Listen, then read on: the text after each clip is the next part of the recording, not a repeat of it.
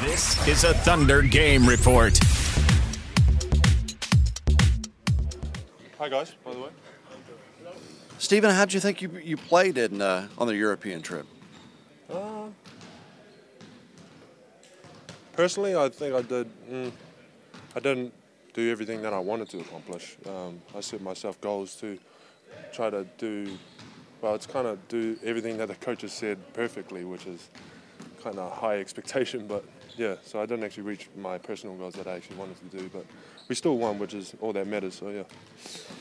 Steven, just getting back to work here at the facility today, uh, how much is just a continuation of what you guys were doing uh, over in Europe? How much of, of A it? continuation of, of the work you got in, in in Europe happened here today. Um, yeah, well, it's, all today's practice was was just pretty much, well, it just exposed all our weaknesses and stuff like that. So we're just focusing on all the weaknesses that we have to, you know, get stronger with and whatnot. And yeah, that's pretty much it. Are there, are there a few specific areas that you all are concentrating on right now? Um, there's there's quite a lot. You know, we're, we're, we're doing all of it. Like it's, you know, we've, we're, we're focusing mainly on the weaknesses, but then we're also, you know, still critiquing everything else. So it's a large variety. I don't want to be naming. Take a while. A couple of weeks into this thing, how are you feeling? Uh, you know, what are you discovering about the process compared to your expectations coming in? What am I discovering about the process? About the process, you know, just training camp. I mean, is it meeting your expectations? Are you, you know, you Um, feeling comfortable? Yeah, well, personally, I didn't really have expectations, and and that sort of sense, like, oh yeah, what training camp's got to be like. But uh, I have my own expectations, and that's pretty much just to work as hard as I can every day with whatever they ask for, and I thought I've been doing a pretty good job of it. But yeah, training camp, it's it ain't no joke. Okay, you know what I mean? It's it's very tough, but yeah, it's going good. What more do you want to do? Pardon? What more do you want to show on the court? So on the court, it's mainly uh, all I'm focusing on is just the defensive coverages and talking and stuff. It's so once you're in the game, especially oh well, me personally, once I'm in the game, it's going very very fast for me. You know what I mean? There's so much to think about, so I kind of have to slow myself down and work on the defensive stuff before anything else. Yeah. So, are you getting? Is it a process to get as comfortable as you can with your new teammates and with the system and the speed of the game and all like that? Um, yeah, well, with the teammates, you know, it definitely is a process. You can't really rush that. It's just like with a relationship, you can't really go up and marry someone straight away. So, like, not not as our teammates sort of thing, but like, say in the team, say for like the team, it's um, yeah, I'm, I want to get there as fast as I can. So I'm trying to do like 100% each day, so I could get there as fast as I can, and then ex- like get better. You know what I mean? So, yeah. How much have you grown from, from draft day to now, just through you know your workouts here and then you know first few weeks of training camp? How how how, How, much have you grown, you know, as a player? Um, I felt I've grown a lot, like you know, quite a, quite a bit. You know what I mean? Like it's uh, big thanks to all the coaches right here. Then you know, I just been straight after the draft. I just came here and started working out from then on out really. So like that did a really good job for me, um, preparing me for training camp and everything else and what to expect. And You've only been playing basketball for about six years now. uh, where did that come from, by the way? Who's Reading it. Oh, reading it? Okay. Is it not true? No, it's not true. Um, so I started, yeah, so, well, fixing it up. I started playing when I was like real young, like six years old. Okay. I think that might have been the mix up, maybe. But yeah, since I was six years old, um, but it wasn't my first sport. Played rugby when I was six, and then um, switched to basketball when I was like 12, 13. Now, can you say, the, so clearing that up, what did you say the thing was? That was. I mean, I was just asking about your growth. I mean, do you do you feel like you could contribute to this team, you know, right away this season, Um, what sense? getting minutes, you know, having a, a steady role? Steady role. Um, I'm not sure what what to well what the minutes are or something like that. But all I'm doing is say even if it's a practice, I'm contributing. Like you know, giving hundred percent and trying to make sure that I like even if it's like simulating the other team for like um, doing their plays or whatnot, anything. I just want to contribute in any way possible. Yeah. Things are happening pretty fast. Perk is hurt. Daniel Orton's gone now, so you're moving up pretty quickly. Moving up the. The depth chart. Well, I don't actually know, but yeah. Well, it's just you know injuries happen and stuff, but just got to do it really. Still work hard. The team, the team doesn't change their mindset at all. Doesn't be fazed. They just work around, adapt to it. Especially with this team, they're really good at adapting to any sort of situation. So Yeah. Just from an experience standpoint, what was it like playing in your first real NBA game against you know NBA competition? Um, it was, I was nervous. Really, at the start, I was really, really nervous because, uh, as I said, my expectations were high. I just really wanted to nail down on certain things that I wanted to accomplish. That's why I was nervous. But throughout the game, uh, it was mainly I settled down from the nervousness. Now it was just, you know, just slowing my mind down. Things were going like full speed, and then, yeah, I guess it was it was very exciting after the game, especially since we won. It was just cool to get get a game underneath the belt. So. Steven, what's the best meal you had in Istanbul or, or Best- Manchester? Best meal? Best meal. Um, where do we go? Where do we go? Which city? Huh? Either one. Uh, it's Istanbul or- no, no, no, Manchester. Manchester, a place called uh, Team Dinner. Yeah, Uh, is it Roma? yeah, some, Rosso? Roma. Rosso. Rosso. Rosso. The If you guys go to Manchester, go to Rosso, and this steak that they have is so class. Like their sauce is ridiculous. Their cheesecake, I don't have cheesecake, but I'm just saying their cheesecake's really good. and yeah, I'm just saying go there if you guys are. I'm done. Okay. Sorry.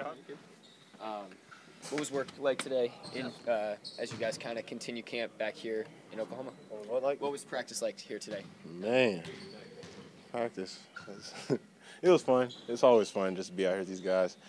Um, a little tough getting off that plane, but luckily we got a rest yesterday, so it's fun to always get back in here, try to get things going, and just work on some things, especially with season approaching so quickly. Reggie, did your bodies, your body adjust to the time zone difference over there, and did you have to adjust now coming back?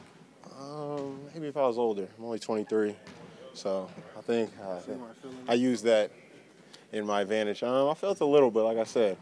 Uh, I think we're all young, most of us are, so shouldn't be a problem. We can't use an excuse. You know, we're just out here trying to get better. So, like I said, just trying to get back on this time zone. You're right about that. It did affect us a little bit, not too much. So I guess that's the perk of being young. How does it feel with your first two games now that you're the starter? You got two games under your belt as a starter this season. Uh, how, you, how are you adjusting to that? Uh, fun, just being aggressive, trying to make the right plays for teammates, play more freely, uh, and trusting what I see, not necessarily always playing to satisfy someone, but just trusting what I see out there, taking advantage of mismatches and being aggressive. So it's just been fun. And, uh, most importantly, like I said, I've said before at my position, all it is about wins. So I'm happy to our team has two wins in two games. Were you surprised at all by Steven's performance, just kind of how quickly he seems to be meshing in? No, not not since I've seen him this summer. Uh, he picks up things quickly, even though he's a big kid. A big kid. Call him childlike, but he just picks up things and he wants to learn. So he's so hungry and so eager to get better that it's kind of, I guess we could say, we've foreseen him doing well. Maybe not this well, but he picks up quickly. So he's a good part and a good piece of our team. Pace. Yeah, um, like I said, it's just like a sponge. He picks up everything so quickly and does a good job of applying it. But uh, most importantly, he always just competes on the court, plays hard, and that's kind of just the system of Oklahoma City. So we enjoy him on our team. Kevin had 12 assists against Philly. The way he came out in that game and just distributed the ball, was that by design, or did you guys just read and react to him? He just took over passing and distributing. Man, he's he's one of the best scorers in the league, um, if not the best. So he draws so much attention that like he slowed down a little, and he's finding open shooters. Unfortunately, a lot of our shots went in and out. Probably should have had around 20 assists, but he's doing a good job of just taking what the defense gives him, still staying aggressive. But when he does over penetrate or get guys jumping on him, two people coming at him, three people, he's getting off of it and giving us easy looks. How much are you guys going to rely on that this year with Russ out? Just him having the ball in his hands more. Uh, it's, whatever happens, we're just playing freely. I mean, I, I'm not the coach. I don't know exactly what's happening, but he's doing a good job just still staying aggressive. He did it last year. Like I said, he's finding ways to get out of double teams easier and just trusting us, and we have to be ready to make shots for him.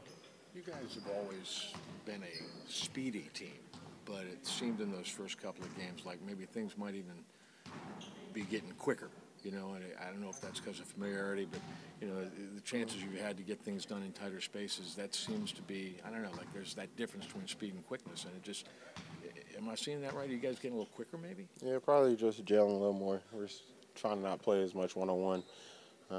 We know guys are going to get the opportunity, especially rushing KD, to stop the ball and play one on one. But we're just trying to play more free flowing and let the offense score for us rather than necessarily always doing it by talent because we know once you get later and into the playoffs, it's hard to win like that. So we're just trying to make our offense score for us and just get better moving the ball. You mentioned the three-point shooting wasn't as good as you guys like. A couple shots went in and out. Uh, but Jeremy really struggled. One of 12 from three. What would you notice about him and why he maybe struggled with his shot so much in those two games? Oh, um, I don't know. I just say ball didn't go in. You know, he's a confident shooter, so he's got to just stay confident. That's what we need him to do. I mean, he can stretch the floor. Every shot he takes inside of half court, I believe the whole team thinks is going in. So we need him to stay aggressive. Um, he can't have any self-doubt. So that's probably the biggest thing we'll pitch to him. Just keep shooting, keep trusting, and uh, once you get those open opportunities, let it fly. Uh, you know, it's just part of the, part of the business. You know, I thought I thought he's, he's he did a good job while he was here. Um, just um, we have we have to make cuts. We have to make uh, I'm sure a few more. But I, I wish him well. Uh, good player. I'm sure he'll get picked up. He's gone and Kendrick's hurt, so Steven Adams more being asked of him pretty quickly. I like what Steven has done, uh, but like I said earlier you know, last week, um, before I left, and to the media overseas that you guys weren't around, um, that he's it's still there's still so many things that he has to learn, and it's going to take him some time. But I, I like I love his effort. You know, the guy gives you everything he has. Uh, he seems to be a quick learner, but it still it takes it takes some time. He has to understand what we do both ends of the floor, and the game always seems to be faster when um, for younger players. But I think what he's done the last ten days has been it's good to see. It's fun to see his enthusiasm, his excitement for the game. You seem like you had a couple good practices overseas. How much did those sessions help make today uh, kind of just a, a transition back to work here? You know that that was definitely a concern going into that trip because when you go when you go on a trip, uh, especially this is our first trip overseas, so I didn't know how we were going to respond with respond with the time change and just uh, the excitement of being in a different country with uh, the group of guys that we have. But we still had great focus. We had three great practices and, and really one good shoot around. Uh, we didn't have a shoot around in the early game, but I thought we did. We got better on our on our trip. We bonded, obviously, being around the guys and seeing the guys. Uh, I enjoyed watching that part of our improvement, but we we improved as a basketball team by working and taking advantage of the time that we've had. Um, but it's good to be back. It's good to be back home, and we're excited to get back. Training camp just doesn't stop now. It's it's still going on, and we use the entire month to still get better. Coach, did you have any objectives when you went on this trip, and where they met, and what were they? Uh, the, the, main thing I didn't want Ravina to go, and they we we um, accomplished that. He was not allowed. Claimed that he was sick. Uh, you know, I wanted um, I wanted to just to get better and, and, not not look at it as just a, a fun trip, but but it was a fun trip. We can I could not take that away from uh, from our experience. We knew that we were going to see some things that you know you don't get to see uh, here in the states. And it was a great great experience, a lot of great sights. But we still had to use those seven or eight days to keep getting better. We can't we couldn't. Uh, we couldn't afford not to. It's still we're still a team that's going to continue to improve. We have some younger players that have to fit in and and continue to work and get better with our team. I know it's early and you were playing games in strange arenas, but are you concerned at all about your three-point shooting overall and Jeremy Lamb's in particular? Well, three-point shooting, um, it does. It, it, helps when we make three-point shots, and we've been a great three-point shooting team the last year, and I, I still anticipate that. You know, Jer- Jeremy hasn't shot the ball well, but I believe in what he does. He, he continues to work on his game, and like all of our players, we're focusing on defense. Um, but the shots will eventually fall for him. He's he works uh, extremely hard on on his game. Uh, he has missed some shots that he's going to continue to get. They're going to be open looks, and he's going to be able to step up and stick them in. Uh, I believe in that. and I think our guys do. His defense, though, at least looking at the numbers, has been really good those first two games. Uh, that's a that's a tough part in all of our players, is to really commit to that and stay with it and stay focused on it all of our younger players. Uh, but he, I like what he has done. You know, he's he's uh, he's a gifted, smooth player offensively, but I like his activity on the defensive end. He has he has good length, which we like on all of our players. We have a uh, we, we're long armed in all of our positions, and we, we want to use those arms. And I think he has the ability to be uh, part of that same defensive mold that we like. Did Kevin take another step as a passer? Just the Philly game really stood out. Did he take another step this offseason? Yeah, you know, I thought he's, he did that last last year, made a jump, and I think we're going to see another jump. Uh, he has to be, continue to be a playmaker and, and get easy shots for other guys. Um, you know, his role is obviously to score for us, but it's also to help guys score, and, and what great players do, and he is a great player. He makes his teammates better.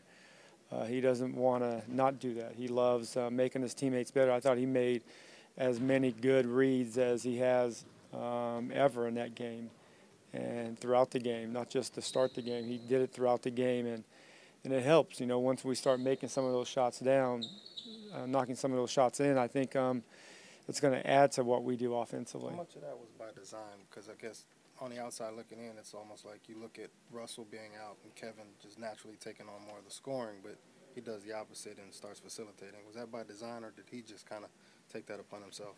No, I mean it's by design. We want all of our playmakers to continue to look for guys that need help scoring. I mean, we have guys that can do a lot of things offensively, but they need help and he has the ability to get um, shots for Thabo, uh, get shots for Serge, and, and, get shots for all of our bigs. You know, and, and Kevin Kevin is an unselfish as you come, and it's it's for him to be able to be the lead leading scorer for many years, or just not this past year, but uh, but he still always looks to make the right play, and we need that from him. Whether he's open and he has the chance to get a guy a better shot, he's willing to do that, and I love that about him. Coming off of this trip, uh, how do you manage the process of getting your guys back into a normal routine?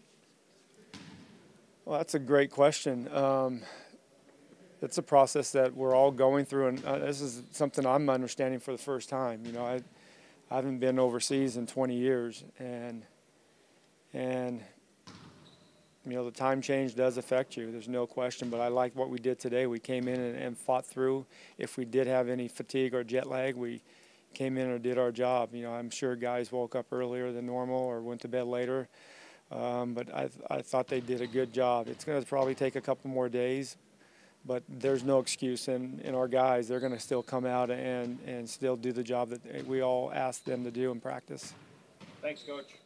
The players and Coach Brooks, as you uh, saw there, all in good moods today and seemed like they were well rested.